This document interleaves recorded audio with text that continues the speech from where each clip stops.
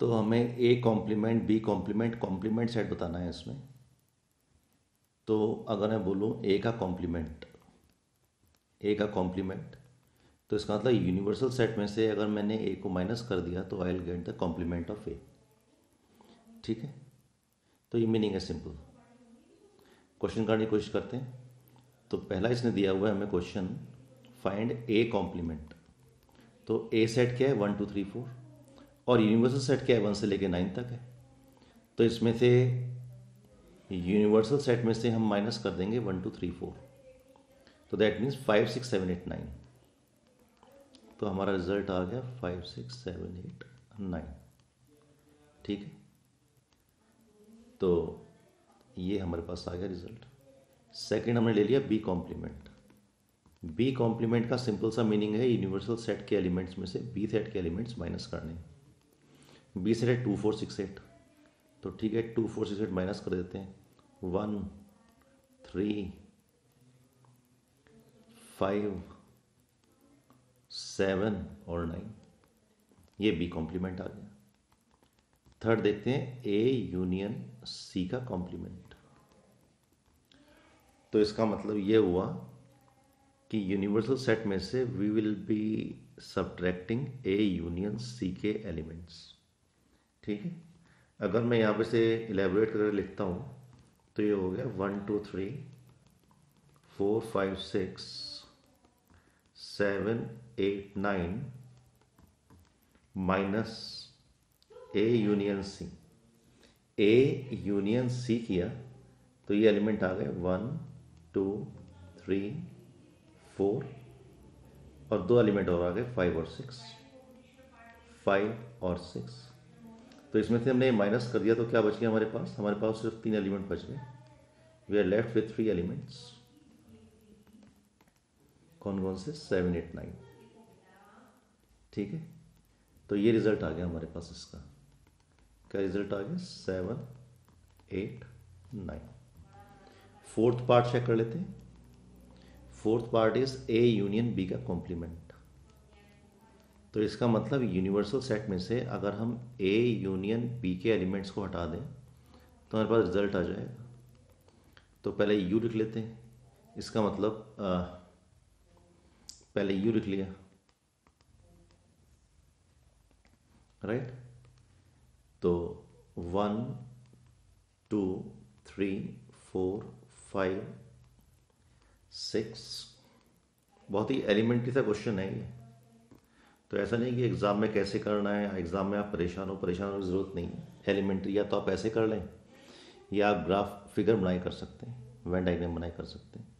इसमें तो माइनस क्या करना है? ए यूनियन बी ए और बी का यूनियन किया तो ये यूनियन करके आ जाएगा one two three four six eight तो जो एलिमेंट नहीं है हमारे पास वन टू थ्री फोर तो वन टू थ्री फोर इधर आ गया। फाइव तो फाइव बच जाएगा हमारे पास। और क्या बच जाएगा? सिक्स तो माइनस हो गया। सेवन एट नाइन बच जाएगा। राइट तो ये एलिमेंट आ गए हमारे पास।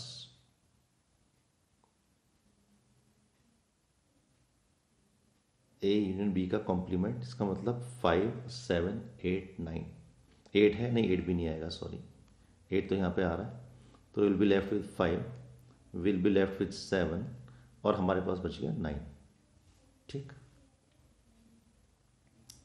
सिक्स इधर है, सिक्स इधर है। और फिर छूट गया गलती से नौ।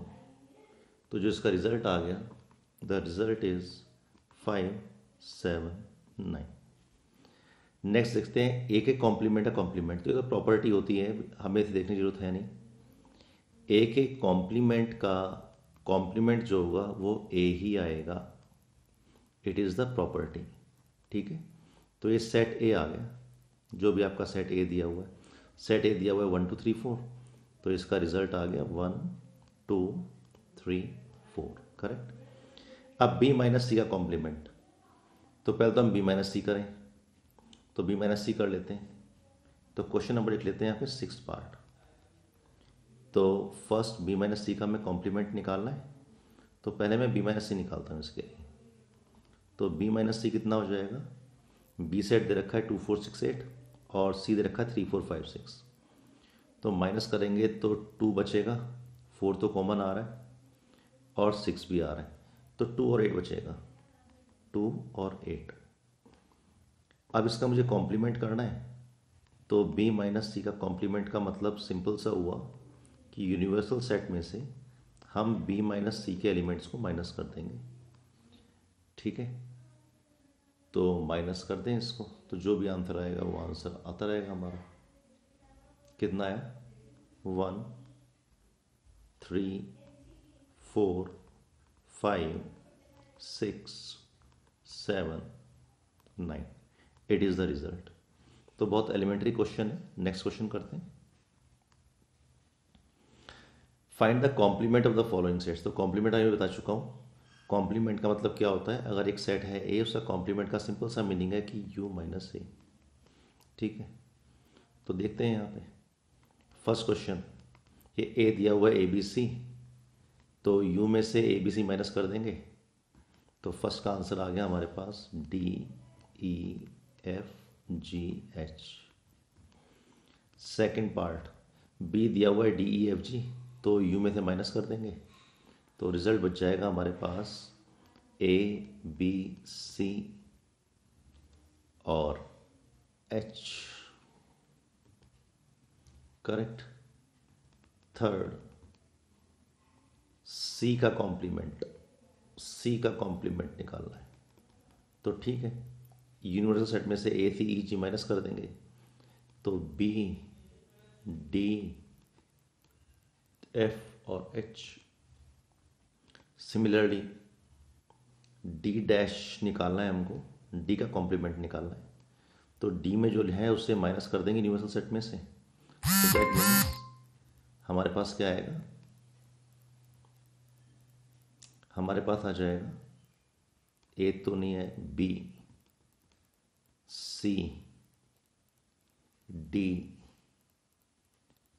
ई ये रह जाएगा मतलब B C D E correct third question देखते हैं। Taking the set of natural numbers is the universal set तो इसका जो यूनिवर्सल सेट है, वो तो हो गया capital N right on the complement of the following set तो ये तो बहुत ईजी है। इसे जल्दी करते हैं, यहीं पे करने की कोशिश करते हैं। ये लिखा हुआ है X Z X is an even natural number तो इसका जो कॉम्प्लीमेंट आएगा तो इसका कॉम्प्लीमेंट आ जाएगा, इसकी जगह ऑड आ जाएगा। ऑड ठीक है? अगर ये सेट है ए तो इसका मतलब ए कॉम्प्लीमेंट में क्या आ जाएगा? X is that X is an odd natural number second X is that X is an odd natural number तो एक्स तो ऑड नेचुरल नंबर है। अगर इसका हम कॉम्प्लीमेंट लेंगे तो जो इसका कॉम्प्लीमेंट आएगा ए डैश उसमें क्या आएगा? पूरा सेट यही आएगा। ऑड नहीं आएगा, वो क्या आ जाएगा? इवन इन दोनों में कोई कॉमन नहीं होगा कोई चीज़। यून ठीक है? ए और ए कॉम्प्लीमेंट में कुछ कॉमन नहीं आता है। अच्छा अब ये लिखा हुआ है X is that X is a positive multiple of three X is that X is a positive multiple of three तो अगर मैं कॉम्पोजिट इसका ए डैश निकालूं सो दैट मीन्स कॉम्प्लीमेंट निकालूं so X is not a X is not a positive multiple of three ये result आ जाएगा। X is a prime number तो दैट मीन्स अगर मैं इसका कॉम्प्लीमेंट निकालूँ तो that means X is not a prime number तो इसे कॉम्प्लीमेंट जो आएगा इसका कॉम्प्लीमेंट में क्या आ जाएगा? X is not a prime number मतलब अगर ये सेट ए है तो मैं ए डैश की बात कर रहा हूँ। सिमिलरली क्वेश्चन नंबर इसका फिफ्थ पार्ट देखते हैं। X is the natural number divisible by three and five ठीक है? तो फिफ्थ क्वेश्चन हम यहाँ डिस्कस करते हैं। जो क्वेश्चन डिस्कस करने वाले डिस्कस करेंगे। तो ये अगर मैं सेट बनाने की कोशिश करता हूँ थ्री से भी डिवाइड हो रहा है फाइव से भी डिवाइड हो रहा है। तो इसका मतलब ये ऐसे नंबर होगा, ये जो सेट दिया हुआ है आपको फिफ्टीन थर्टी फोर्टी फाइव ठीक है? इस तरीके के नंबर नेचुरल नंबर्स तो ये सेट है आपका ए तो इसका मतलब अगर मैं से कॉम्प्लीमेंट निकालता हूँ क्वेश्चन नंबर फाइव की हम बात कर रहे हैं तो हमारे पास क्या होगा? इसका मतलब ऐसे नंबर आ जाएँगे लेटस से मैंने लिख दिया टेन तो जो कि थ्री से भी, जो थ्री से डिवाइड नहीं होगा और फाइव से भी डिवाइड नहीं होगा राइट तो ऐसे एलिमेंट्स हमारे पास यहाँ पे आएँगे। तो जो नंबर ना तो थ्री से डिवाइड हो, ना फाइव से डिवाइड हो। क्योंकि अगर मैंने लिख दिया एक नंबर लेटर से सिक्सटी आपको एग्ज़ाम्पल दे रहा हूँ। तो ये तो थ्री से भी डिवाइड हो रहा है और ट्वेंटी से भी डिवाइड हो रहा है। अगर मैंने एक नंबर लिख दिया आपके लिए यहाँ पे एटीन तो एटीन तो हमारे सेट में नहीं आएगा। ठीक है? सो so, अल्टीमेटली जो हमारा रिज़ल्ट आएगा यहाँ पे मैं यहाँ पे रिज़ल्ट लिख रहा हूँ।